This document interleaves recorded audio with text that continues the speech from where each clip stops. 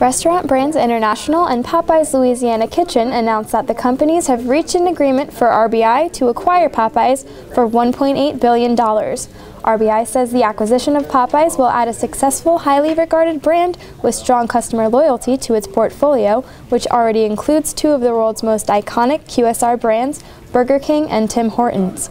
Following the closing of the transaction, Popeyes will continue to be managed independently in the U.S. while benefiting from the global scale and resources of RBI.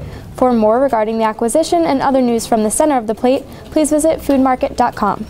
In other news, market reporter Gary Morrison has the latest cold storage survey predictions.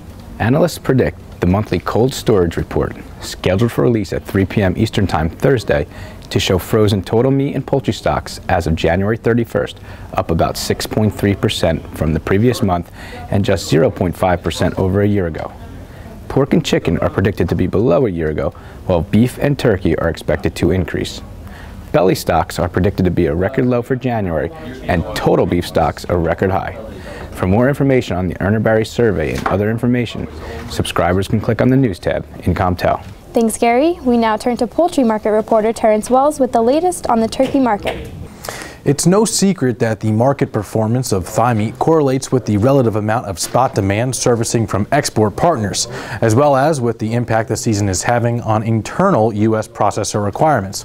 In simple terms, of these two influences, export demand is shaped by currency valuations and the price or availability of competing proteins, specifically hams. Following a dramatic suspension of trade in 2015, exports of turkey turned the corner last spring, and each passing month's data is looking better than the preceding one.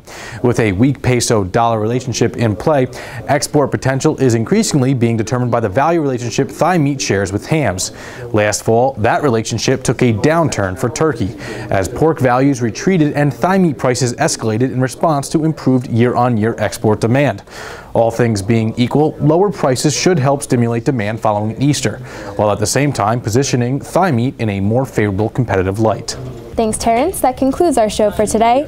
Thanks for watching, and be sure to head over to the News tab in Comtell for a comprehensive look at the latest market and industry news.